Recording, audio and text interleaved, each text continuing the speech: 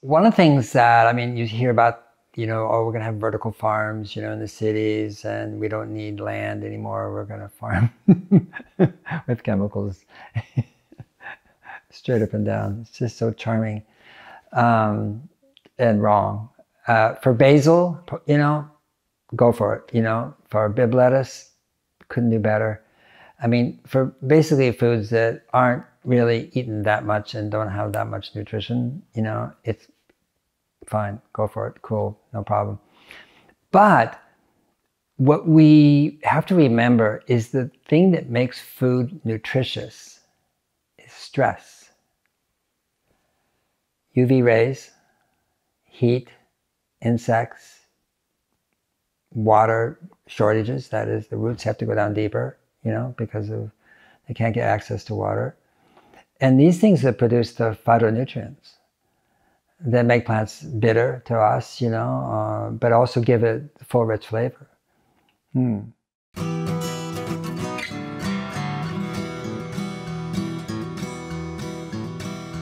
Welcome to the Real Organic Podcast. I'm Linley Dixon, co director of the Real Organic Project. We're a grassroots, farmer led movement with an add on organic food label to distinguish organic crops grown in healthy soils and organic livestock raised on well managed pasture. You just heard from climate activist and author Paul Hawken. Paul is the keynote speaker at our EcoFarm conference, which is happening tomorrow, January 17th, at the Asilomar Conference Grounds in Monterey Bay, California. Paul will be talking about the ways in which Real Organic Project and the Regeneration Project intertwine. Tickets are still available for in person or live streaming, both of which include links to recordings of our awesome speakers so you can watch them at your convenience. Now let's listen to the second half of our latest interview with Paul Hawken. It's one of the stories I'm, I'm going to interview a woman who did a very good podcast called Scene on Radio. It's a terrible name for podcast. It's spelled S C E N E, Scene on Radio. Right. And um, it's a very good one. And it, it's kind of the history of greenwashing, starting with the oil industry's response to global warming. Yeah. And, and actually, it starts with um, uh, Silent Spring, Rachel yeah. Carson and Ralph Nader. And it says that the industry, uh, the oil industry responded to those two with a full frontal attack. Mm-hmm. And, and they successfully managed to portray Ralph Nader as a kook to Americans. And so he became seen as a kook. They failed with Rachel Carson. She had the bad manners of dying and becoming a saint. Right. and, uh, and it really failed. They, they attacked her for everything that she was a woman, that she was gay, that she wasn't really a scientist because she hadn't done a PhD, all these things. And ultimately, people didn't care. And it became a, a, a transformative book that, that really changed our world uh, almost in a way that almost no book can now because we have so much access to so much information. Mm-hmm. And back then, they still had real bestsellers where everybody read it. Uh, you know, it was a, you, you, didn't have this constant stream on the internet in the, in your pocket. You you actually went to the bookstore and got a book. And after that, the the the industry reconsidered when climate change came up, and at least in this podcast, they attribute it to one guy, a marketing guy, and he said, "Let's not fight them. Let's join them." And we just want a seat at the table. So they went to the big conference and they said, We just want a seat at the table. We get it that you're right. And actually, they did. They knew it before anybody knew it because they, they had good scientists. And it became the 20 year goal, the 30 year goal, the 50 year goal, and it became an excuse to do nothing or very little. Uh, I'm sure they had good people in there who were not cynical, who were really trying to change from within those companies. Um, I'm not trying to vilify all all the people involved, but I think that the outcome was that somebody had hit on a winning strategy. So I have a part that is very slow to trust in this situation that that these companies have had a, you know, come to Jesus moment and that they are going to truly, truly try to create change as opposed to truly try to make money while appearing to create change. So I, I am, am at the very least intrigued, Paul, by what you say. I know that you've thought about it a lot and I know that you talk to a lot of these companies. Yeah, I didn't say they've had a come to Jesus moment. I'm saying that the the weather is going to make them have a come to Jesus moment. Yeah. That, that's there's a difference. In other words, it's not like internally like, oh gosh, I have kids. You know, I realize that you know I've been a hypocrite and speaking out of two sides of my mouth. No, I'm just saying that functionally, pragmatically, they're going to look one way, look the other way, and saying, you know they ain't working for us. and and that's that's what I'm talking about. The thing about Rachel Carson, I mean, I mean one of the one of her biggest attackers was Norman Borlaug, who won a Nobel Prize, yeah. right? Uh, and uh, for you know really being a, a, one of the progenitors of the so-called Green Revolution, you know. And so, yeah, it was a very powerful time in terms of agriculture, you know, and she she she definitely represented a threat you know, um, because she threatened the pesticide industry itself, you know. And that was at the threshold where, you know, monoculture and, and mining uh, of the soil was producing unhealthy crops, unhealthy, unhealthy crops in, you know, fields that went for thousands and thousands of acres in each direction was sort of like, you know, a big sign on the highway saying free buffet, all you can eat forever. And And so insects responded in kind, you know, and which the chemical companies loved, you know. Paul, could you explain that a little bit? Because I, I think a lot of people listening won't understand what's that mean, free buffet? Why would the insects come? Oh, because it was delicious, first of all. it was food. Uh, they breed quickly, by the way, any, anybody notices. Uh, and so all animals uh, really, you know, basically go to the limits of the, the population goes to the limits of food. You know, as they run out of food, then obviously the population either stops or goes down. And in this case, there was no limits, you know. Because there were not natural enemies also, because it wasn't a diverse ecosystem? It wasn't a diverse ecosystem because of the uh, uh, all other plantings were removed. In other words, there wasn't uh, like there are prairie strips now. You know, I mean, people are trying to put them back in. There's hedgerows in the UK, you know, which were always about uh, refugia for insects and, and birds, you know, that ate insects as well.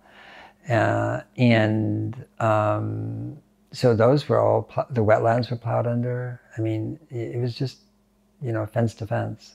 Yes. And so uh, that's what I mean about all you could eat buffet because there was no there was no stop place, there was no border, there was no you know enclosure, so the insects could you know. You know, Elliot also to add to that studied the theory that um,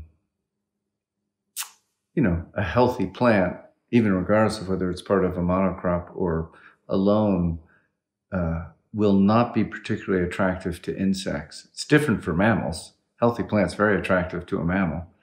Uh, we know that the cow loves to eat that plant, but but the insects don't, and the insects biologically function more like vultures, you know, and their job is to pick off the weak and dying.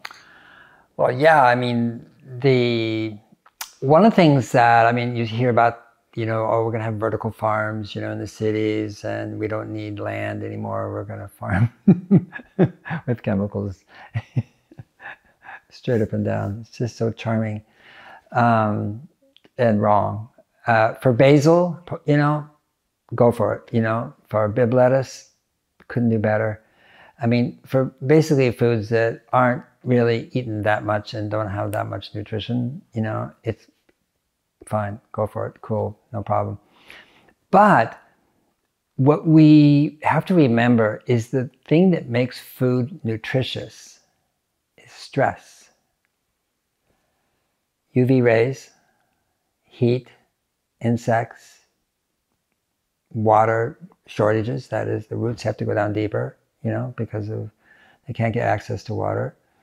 And these things that produce the phytonutrients that make plants bitter to us, you know, uh, but also give it full, rich flavor. Hmm. And so, uh, so a healthy soil creates a healthy plant, but the the plant is adapting. It is to its environment, you know, and um, and that's what creates nu- nutrients. Like, so.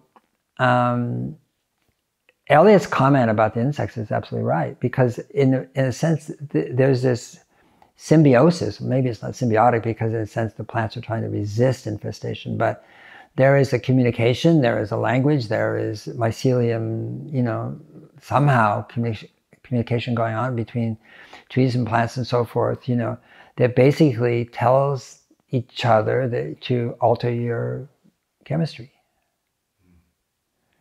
because we have a problem over here. And, and so there's communication. Now, there's no communication in chemically farmed agriculture, you know, and there's no hedgerows, there's no, there's no, there's no wires, there's no way, there's no Wi-Fi, there's nothing there. So the plants are basically isolated, completely isolated. Uh, and what is so beautiful about true regeneration, you know, and the deepest and most biologically correct sense of the word is that plants are communities. All plants are, all trees are, all forests are, all grasslands are, uh, coral reefs, obviously, you know, but I mean, and so community means communing. That is to say, there's messaging, there's communication, there's signals, there's uh, going on which is really how plants, you know, basically evolve and adapt uh, to changes in their external environment and to predation, for example, from plants or from me, animals or insects. Um, so there's this beautiful relationship, you know, it's like a dance. I call it the dance of carbon, you know. And in my new book, that's what I call it. It's about the dance of carbon. It's just uh, like, wow, look what's going on. And so, yeah, if you interdict it, if you stop it, which is what you do, you know, with uh, chemical agriculture, uh, that plant is like frozen in time and it doesn't really adapt. You know, doesn't really um, have that community. That, that's an excellent image, you know, of, of isolation, even depression. Yeah. Um, yeah. What, what, happens to us when we're isolated is we're depressed or we're anxious or we're both. Yeah. We wilt internally. Yeah. Yeah. yeah. Uh, you know, I don't know if you remember that Malcolm Gladwell had a chapter in one of his books about this little town in Pennsylvania, and they really live a long time. And he was trying to understand why, and it wasn't genetic, and it wasn't their diet. Their diet was terrible. And he decided it was because they had this thriving familial social life in this town. Mm. That it was a carryover from their village in Italy, and it just carried through. There was a, a, a study done of this nunnery in Iowa, and the nuns lived just exceedingly long lived. And so the uh, researchers got permission to do autopsies when the nuns died. And the nuns said, sure, you know. And what they found was that uh, many, many of the, uh, the nuns who died, uh, their brains were like Swiss cheese Alzheimer's. In other words, they, they should have had Alzheimer's, but did not. And uh, you know, what did they do every day? There's, well, let's, let's go back to lifestyle. What did they do every day? Every day, uh, they worked outside in the garden and so forth. Every day they sang. and every day they made things with their hands. You know, that's, what they did and pray.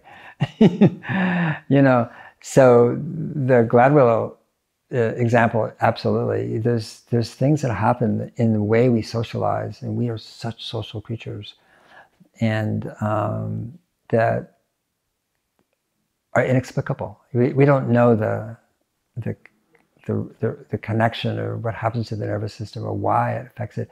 But it's interesting that in Gladwell's uh, example and in this nunnery that is a Carmelite nunnery, by the way, that the um, that it's a community uh, phenomena as opposed to well, this is one individual, you know, who happened to be let's study him or her, you know. Nah, it was everybody.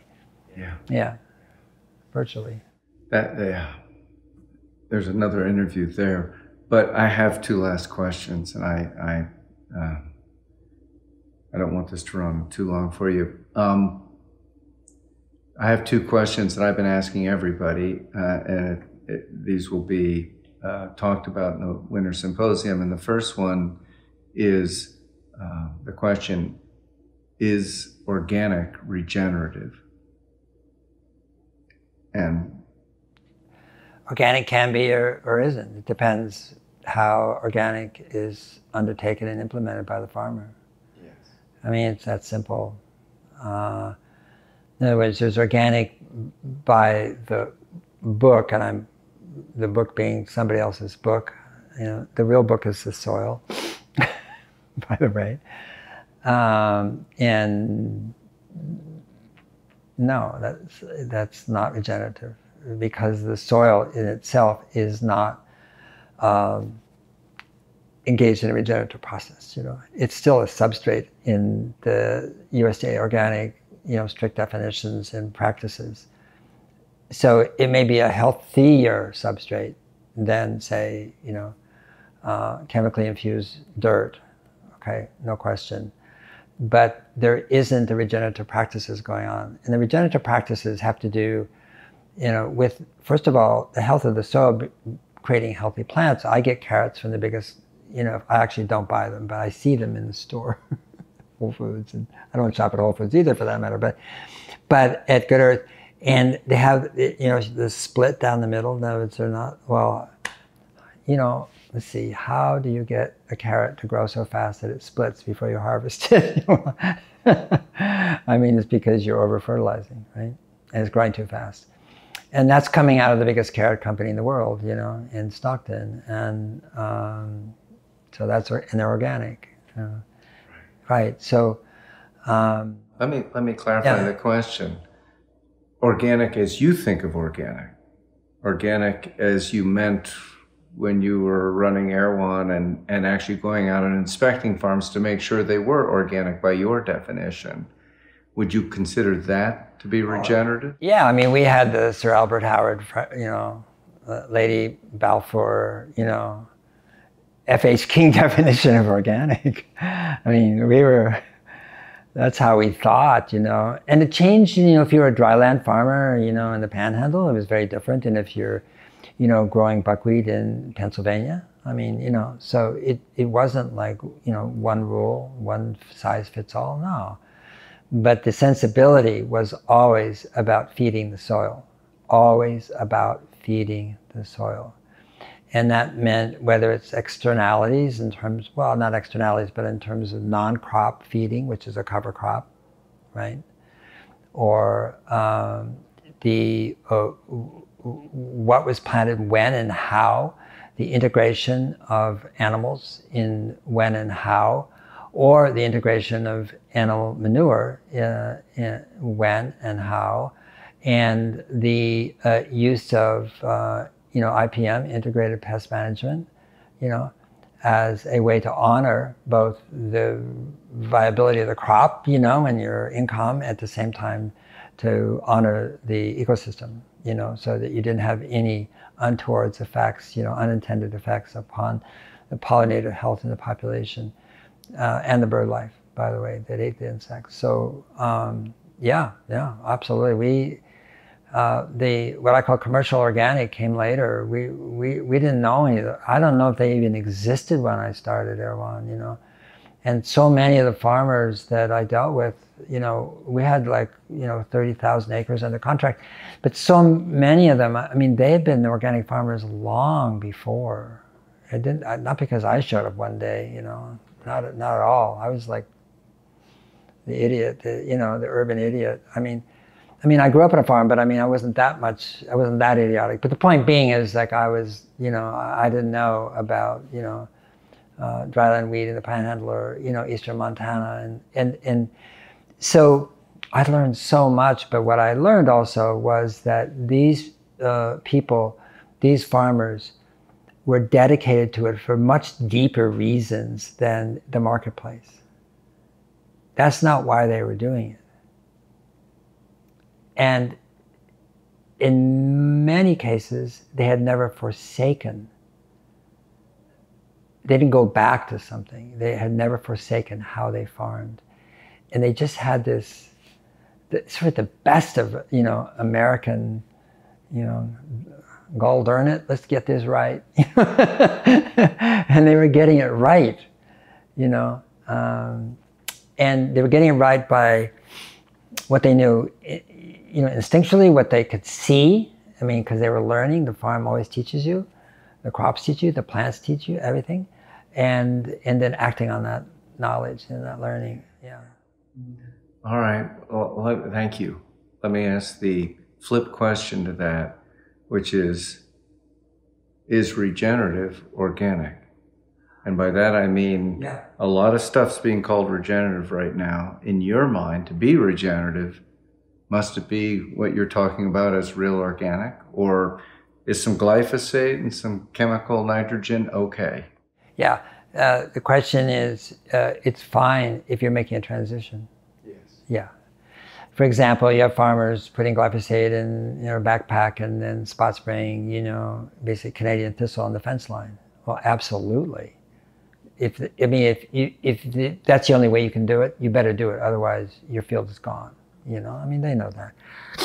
So, um, but if your purpose is basically to do get a no-till classification on your farm, you know, and to get you know some carbon credit or something, then no, it's absolutely crazy, you know, to use glyphosate. And and um, so, is regenerative organic? No, regenerative is whatever say it is. But I do think there are principles in regenerative agriculture. And those principles are, I think, locked in my mind, you know, you know, in terms of what regenerative agriculture is. And but I do think just like uh, we have transition organic, I think we also have to support those farmers that are making a transition to that principled um, definition of regenerative agriculture. Absolutely. Yeah. Absolutely. It's it's not about you don't have it right, so we're going to take you out back and shoot you. But at the same time, right now, uh, just last month, and Syngenta, which has claimed gladly, uh, gleefully, the regenerative mantle, is also putting out editorials condemning organic, saying the world will starve if we farm Still? this way. Wow. Still. Right. Yeah. And and I just thought, you know, it's it's getting a little a little windy out there. A little, yeah. I think it's cutthroat. I think it's getting cutthroat. I mean, they're it's almost like they're using your sword to cut your head off. You know, and no, I see that. And in the companies I work with, I think half of what I do is forfend against Syngenta, uh, uh, Dow, uh, uh, Bayer, Monsanto, Cargill, ADM, Bunge. I'm, I'm, I'm saying, I feel like I'm Janus at the gates because these are bigger companies and these companies are, you know, coming in and whining and dining and sweet talking executives at these companies, you know, about, you know, like they have the science, they have the product, they have the way, you, you here's the way forward and it's just another new way backwards. And um, and then, then, they're invoking, you know, shortages in food and the, the very things we talked about that make regenerative pragmatic, you know, and necessary. They're invoking as the rationale uh, for continuing basically in industrial chemical extractive agriculture. Yeah. Okay. We shouldn't be surprised. No. no. It's I, I I even feel I'm beyond anger. It's just this is the work. This is what we have to deal with. Yeah, and that leopards, you know, those spots didn't change when it went from organic. So it didn't go from organic to regenerative, but I mean, when regenerative is introduced, you know, same spots, same leopard. You know, I mean, of course, you know, uh, growing, protecting their interest. You know, making more money. You know. Yeah. Yeah. Well, before we end, is there any last words you'd like to something I didn't touch on that you go, you know, I'd like to I'd like to talk about that. I think the thing I really am fascinated with right now is pollinators. Uh, and it's a community, by the way, as well. And um, it's funny because how much we do understand from uh, entomology about insects. It's amazing the science that's out there, observational science, and it's extraordinary. And how little we understand uh, the relationship between our future and the uh, presence of uh, healthy pollinator communities.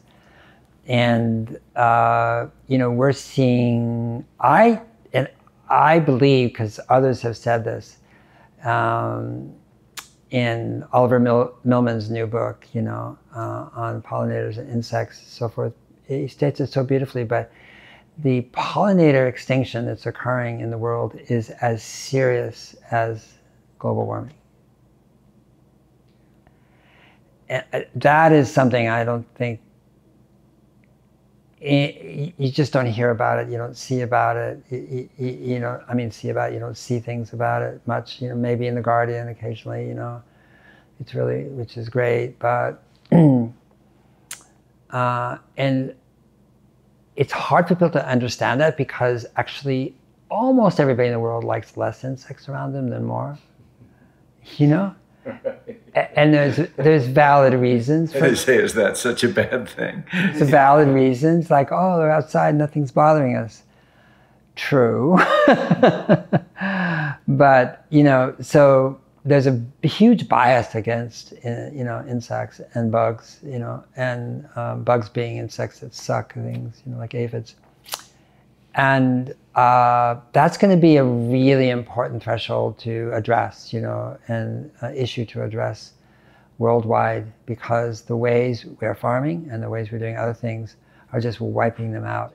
Is, is that pollinator extinction primarily coming from chemical agriculture? Primarily, yeah, and uh, neonicotinoids, you know, the uh, neonoids, whatever they're called, you know, in shorthand, but I mean, they are they are pernicious beyond pernicious because now companies are saying, well, we're not spraying with them; we're just coating the seeds.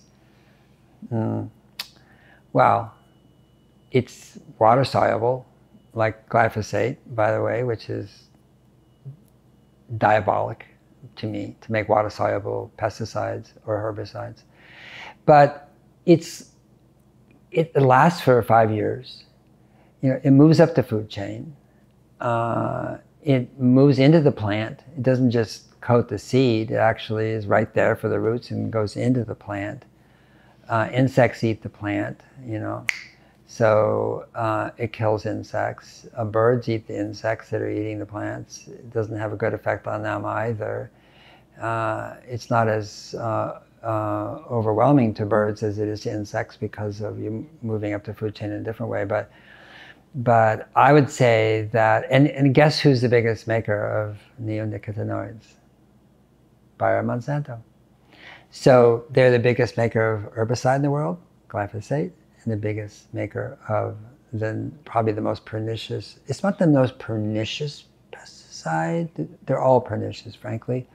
Uh, I mean, but it, it, it's the most ubiquitous, so that it's the most pernicious, and so forth. And and you know, one company I'm working with, you know, buys chocolate from Cote d'Ivoire, and yields are going down. And I was saying, look at the pesticide. Yields are going down because of lack of pollination, and the pesticide is being used for other reasons, you know. And like, one plus one equals two. You know, in other words, and um, so, um, and farmers, poor farmers, you know, around the world, you know, I mean, where do they get their information from? And they have these short-term fears, you know, this year's crop, is, you know, this bug, this, that, this is happening, this weather, you know, this drought, this is, you know, my plants are suffering, they're susceptible, they're, you know, I mean, hey, somebody comes in, it's just like this country with health, you know, here's a pill. You'll sleep well tonight.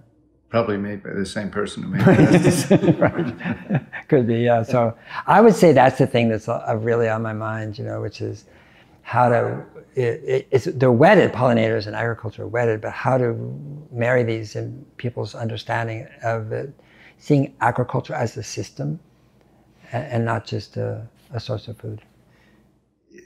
I interviewed Larry Jacobs earlier this week. I don't know if you know Larry, but yeah. uh, you know he was describing the Del Cabo project, mm-hmm. and he said, you know, he and Sandy got in there just just as the government was starting to give away all the chemistry to the farmers, and it wasn't established yet. It was just at the beginning of here's some candy, and by creating a market for people who didn't use those chemicals, they were able to get an entire county in Mexico that prohibited the use of pesticides and fertilizers. Amazing. Amazing. You know, my wife, uh, I mean, I'm, I guess we, I should say we, but my wife bought an eight, eight acre farm in uh, Pescadero uh, in Baja, Baja Sur. And I remember we saw it before it closed in as the you know and it, it was a is a basil serrano chili rotation you know. And it was just cringeworthy watching these um, workers you know with no masks and no at all with a back you know walking down with spray going in both directions whether they're upwind or downwind one direction is upwind one is downwind they go like this you know, just, you know, and it just hurts to see that you can even employ a person and treat them so badly. Let's forget about the insects and the crop for a minute. Just the person themselves, you know, you see that in Mexico. And it just makes you furious. And Larry's done an amazing job down there. Amazing job. And uh, it's not like a foot in the door. I mean, it's like it's i mean the viability has been established so completely. And that that's how people learn and educate and so forth. And so i mean that's just a, an extraordinary extraordinary achievement. Yeah I, I agree. It's an amazing thing to see using the marketplace as a really constructive tool to provide the platform for changing behavior and making everybody wins. Everybody wins. The farmers, their families. He said the kids go to college now because the farmers can afford to have their kids go to college. I wish there was one more thing he would do. Make it clear on the packaging. yes. It's too modest. I'll pass it on to him. You know, it can rotate it and so forth. But you know, when you see you first when I first saw Del Cabo, I go, Oh yeah, organic, yeah, right, Mexico. I had no idea either. I just like I didn't get it. I thought, I hope so. Yeah. They look good and they taste good and you know, like they look too good. You know, I mean I just I'm sorry. I was just like like after all these years of seeing, you know, fake organic, you know, and imposters and people, you know, bending the rules, so to speak. And uh, it wasn't until later I thought, oh my God, it's not just organic. It's like amazing, you know, what he and Sandy are doing down there. Amazing. It's stunning. Yeah, yeah. And, and all of this, it really is um, bringing back the roots of organic that was a social movement. Yes, yes. You know, but uh, three quarters of the people weren't even farmers. They, they were just just kids off the street, but but it was a social movement that embraced agriculture as a as a uh, a tool to be used for change. You know, and and Bronner's, Dr. Bronner's, I mean, they're doing that in Africa and Ghana and so forth with coconut, you know, and in interplanting and intercropping and this and that, and just and schools and education and children and I mean, they're just you know, it's all integrated. It's it, I I interviewed David last week. Oh, okay. I, I feel like I, This is good. it's got Warren, David, and Larry. Okay. I've been interviewing some fantastic people this trip. Yeah. So Yeah. well, thank you, Paul. I appreciate you joining that that uh, cadre. Oh wow, I don't deserve to join that cadre. They're amazing, all three of those people. They're just doing wonderful work. Yeah. I'm here writing. we need it. We need it. You know, it's it. However, change is created. I, I, it's so interesting to me what a subtle alchemy it is, and it's not just this, and it's not just that, and it's got to be action. You can't print your food, but it also has got to be. We got to talk about it. Yeah. Yeah. Next time, let's talk about uh, the what call, I call it the neo food movement. You know. Yeah. All right. Next year. Yeah. Next year, let's talk about neo food. Yeah, the, they, they, they're trying to print it. Yeah, right. Yeah. Yeah, I know. Yeah. Company's name Zero Acre. like, uh huh. All right, Paul, and thank you very much. Thank you. Thank you so much. Thank you for listening to the Real Organic Podcast. We hope that you will subscribe, tell your friends, and leave us a rating and a review so that others can find us. A video version of this interview is found at realorganicproject.org forward slash episode 99. Please join us next time for our 100th episode when our guest will be the globally renowned author and activist Vandana Shiva. To support this podcast and our certified farms, become a recurring donor at realorganicproject.org, and we'll see you tomorrow at EcoFarm, either live stream or in person. Thanks so much for supporting us.